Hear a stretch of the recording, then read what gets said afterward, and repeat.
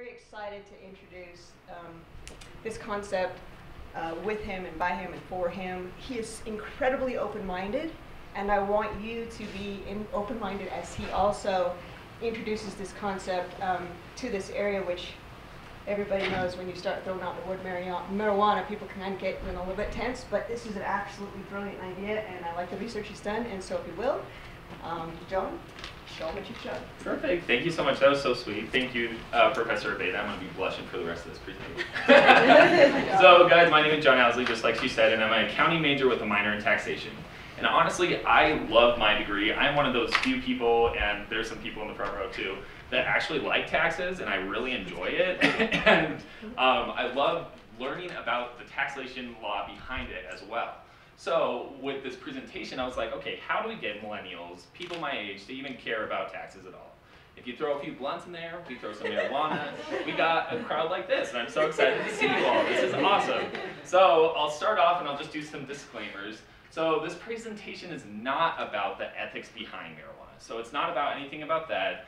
It's not about the effect that it has on a community or even uh, where's the best place to buy a bowl in the San Luis Valley. I don't know that. If you do a presentation on that, you'll get a lot more people than I did. but if you, and it's also not about getting other states to legalize it or why we legalized it in the first place. It's legalized, we might as well take advantage of it, and that's what this presentation is about. So going into that, the research of where this money is going, the taxation law behind that, and then the hypothetical situation if Alamosa County did enact and allow recreational sale of marijuana in our county, what would happen? So going to the abstract, uh, Professor Abeyta, what we do in her classes is we don't just follow tax law, but we actually research it. So we'll go into why we're doing this. We'll go into court cases and see this is why this tax isn't being enacted. Then with my position as student trustee, I would hear a lot with administration, how do we get Adams State have more alternative revenue streams? And what a great way to do that is to get marijuana tax revenue. So going from that, let's do our objectives. So we want to conceptually understand what our marijuana taxation laws are. Then track down where that money goes to, and then create a hypothetical situation of how that money would affect Alamosa County and Adams State. So with that in mind, let's do a little bit of a background. I want to give some legislative history of on November 6, 2012, Amendment 64 was enacted which seems like yesterday. I, I don't know, that seems like crazy to me. But it wasn't until 2014, the beginning of 2014, that it was actually legalized. So what happened in between there was Governor Hickenlooper wanted to make sure that it was regulated correctly, that the laws were enacted, um, and that we had it safe for Colorado. What was, um, a lot of people believe that the reason that Amendment 64 was even passed was because it promised millions of dollars in sales tax revenue. And they were correct. What I found online was this total retail marijuana revenue, this left-hand side, and then I calculated these um, right here on the right. And so in 2014, our first year, we had in we had 700 million dollars in retail revenue. Our second year, we had nearly $8 billion, and then in our third year, we had $1.3 billion in revenue.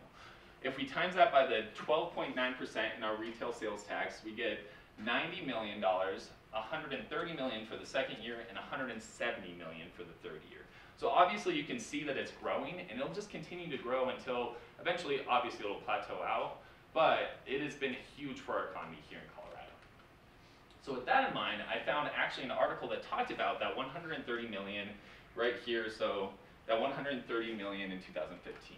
So what it kind of put in perspective was the total amount of sales that we got uh, revenue in Colorado for all taxes. So that was um, income taxes, property taxes, any of those taxes. It was $10.3 billion in taxes in 2015. So with that in mind, it's 1.3% of the total is one is that 130 million. So you might be thinking 1.3%. What can you do with 1.3%? But if anyone got 1.3%, they could take you know a little bit of upgrades, and that's what Colorado did. This um, article also had this flowchart, and this is my favorite flowchart of all time. It is amazing. I think it's so cool that it, it's a great way to um, comprehend how this works. So I'm not really going to cover anything on this right side because it's about business fees and patent fees, and I wanted to focus more on the tax law. So over here on the left-hand side, we have these four bubbles at the top, and this is um, the 15% uh, excise tax on retail marijuana, And then these three sales tax, both the 2.9 for retail, the 2.9 for medical, and then the 10% special sales tax on um, retail marijuana. So we'll go into each one of these. So the first one is the 15% excise tax on retail marijuana. And what I found on that was excise 23, which states why exactly how much that 15% is um, of the total. It also, in Amendment 64, decided that this entire tax would go towards education, which we'll get towards into a minute. But the rest of the three actually all fall under the same bill, Sales 93. And under Sales 93 says the medical is subject to 2.9, but that the retail is subject to the 2.9 and the additional 10% special tax. So from that information, let's start going down through, through the flow chart. So over here we have the education part of it. And the first two triangles we'll go into what I found for that. And that was CLCS issue brief 1604, which basically states that the first 40 million will go towards school construction. So when a school wants to build a new library, they have a leaky roof in their library.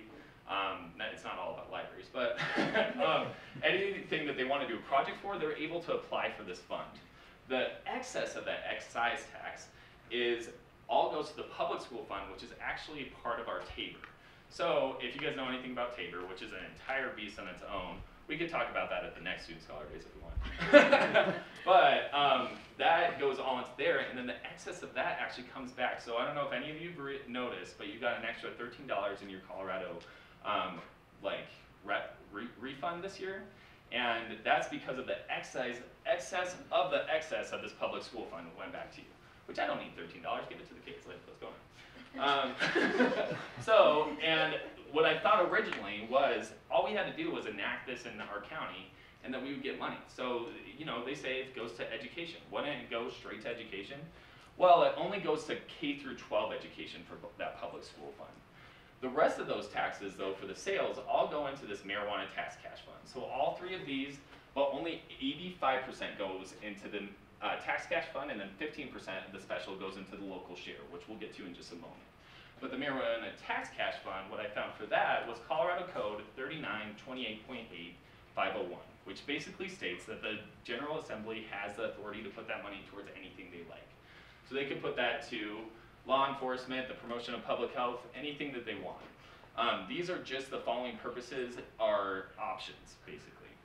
Um, over here, I found the actual distribution table of 2017, and I wanted to pull out some key figures. So we had 7 million going to public awareness marijuana education campaign, uh, 7.2 million going to substance abuse prevention, and 7.9 million going to marijuana enforcement division. And so those were the three highest on the graph, but you, as you can see, there's, it's kind of blurry, but there's a lot of different Department of Law, Public Health, um, right down here, and I didn't pull it out, but the Department of Higher Education, they're actually giving $900,000 to CSU Pueblo for cannabis research. So in theory, if we actually were able to get this hemp, industrial hemp thing, maybe we would even be able to talk to the General Assembly and see if we can get some of that money from that fund. But what we would get fund er, from the fund that I want to talk about today is the local share of the 10%. So this is 15% of the 10% special sales tax. And what I found for this was House Bill 171203, which states that local governments have the authority to put this money to whatever they like. So we can put it towards roads, we can put it to a new library, we can put it to recycling. Um, and what I also found was that Senator Larry Crowder was a, one of the prime sponsors, and so one of our own. I thought that was pretty cool. Shout out to Larry. Um, and then from that, let's get some perspective. So, okay, even if we had, we finally get Alamosa County to let us do the sale. Are we even going to make money? And so the Costilla County, which is located right next to us, so this is right here, and we are right there. And they, in the month of February of 2017 alone, made $218,000 in marijuana revenue. From that perspective, it can be a conservative estimation to do $100,000 a month for our county. And so that's just conservative because we're still close to the border. We have a college, y'all, and people, you know, it's a college. like it's happening. Um, and so I believe it would be a very conservative amount for $100,000 a month. So let's do some calculations off of that. With that in mind, we have 12, $1.2 million in marijuana revenue um, a year, times the 10%, times the 15% share of it would give us $18,000. Yet, according to 9 News, it reduces by 2% on July 1st of 2017. So with that in mind, we're actually going to do 8% and then times that by 15%, and we'll get 14,400. So that 14,400, y'all, you guys are thinking, oh, that's not a lot. What, what are we going to do for 14,400? And you know, that's how we're going to, we need to argue first of all and figure out how we can argue to the county and get that money. So these are my strategies to get um, the county to give us the money and not put it towards roads or any recycling. And that way, you know, I love recycling, but. Um, so according to a report created by Jacob Heaton and Dr. Liz Thomas Hensley, we have a total economic impact in 2014 and 2015 of $78 million. So we just say that we're giving money towards it back to our community. We have an economic impact in the San Luis Valley. Bell can give us 14,400. Like that's not a big deal. We also say that most of our students are going to be the one contributing to this marijuana sales tax. And that's just a fact, y'all. People are driving from here to Costilla, Costilla County, getting their marijuana and coming back. Might as well just keep it in our own county and get that economic development. Then let's also talk about, about the scholarships and initiatives that can help benefit the entire San Luis Valley, which I talk about on the next slide, but uh, that could be industrial hemp. If we get that program going, that could benefit the entire San Luis Valley. So it isn't even worth it. So just like Nine News did and put in perspective of how much money we have. So our total revenue in 2016 was $45 million. So a 14,400 uh, increase would be a 0.0319% increase. So I know that's not a lot, yet 14,400 could go towards industrial hemp research, drug and alcohol prevention programs, or at least how to do it safely, and then scholarships as well. So overview, just to overview everything that we talked about today, the two taxes that describe what the percentages are taxed on marijuana are excise 23, which is the 15% excise tax on retail marijuana, and then sales 93, which is the 2.9% on both medical and retail, and 10% on the special for retail. And then how are they being spent was CLCS issue brief 1604, which basically states the first 40 million will go to school construction and the excess of that would go towards our Tabor Fund for Public School Fund. And then the Colorado Code 3928.8501 states that the marijuana tax cash fund has the authority, so the General Assembly has the authority to put that money towards anything they'd like. House Bill 171203 gives us the authority as a government, a local government community or municipality to put that money towards whatever we'd like going back to our flow chart, now that y'all know exactly what's going on, we got, just going one more time, we'll talk about the 15% going towards schools, this all going to the cash fund, and then this going towards our local share. And if, if we did allow recreational marijuana in our county, the sale of recreational marijuana, and we made approximately $100,000 in revenue, we make 14400 each year approximately, and we can use that money to do initiatives and scholarships if we can convince the county to give it to us. So references, y'all, I don't got time for MLA formatting. This isn't a research paper, I'm sorry. and thank you guys so much. These are some possible scholarship names. I'm pretty proud of this one. This one's really good. And if there's any questions, I would love to answer them now.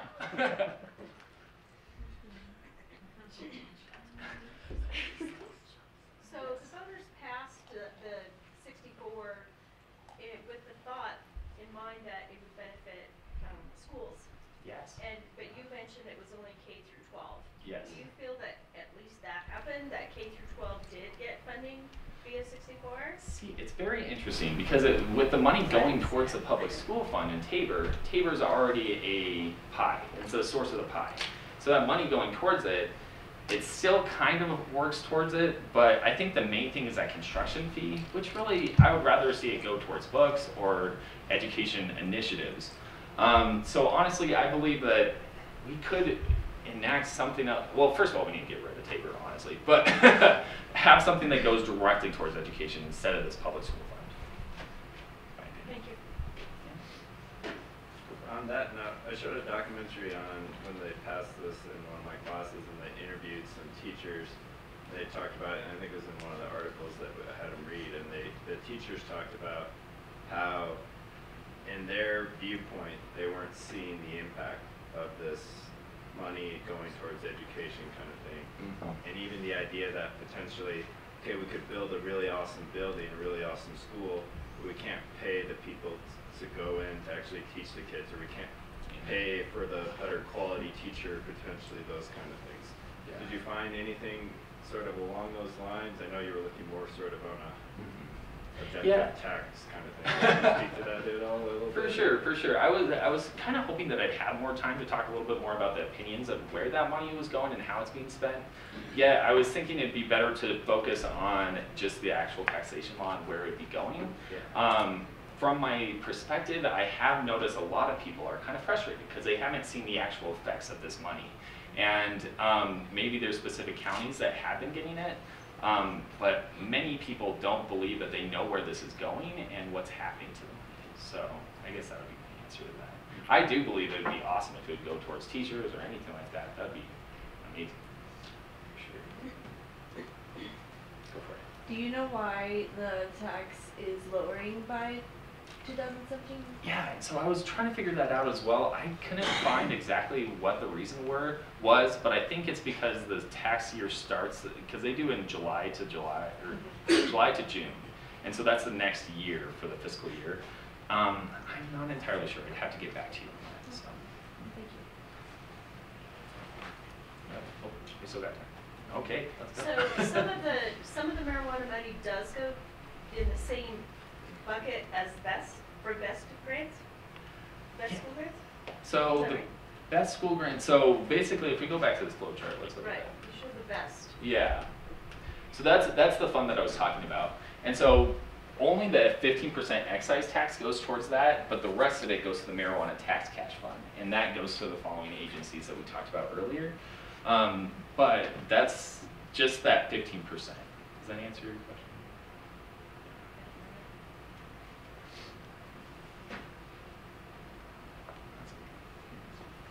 So thank you guys so much for coming. Is there any other questions?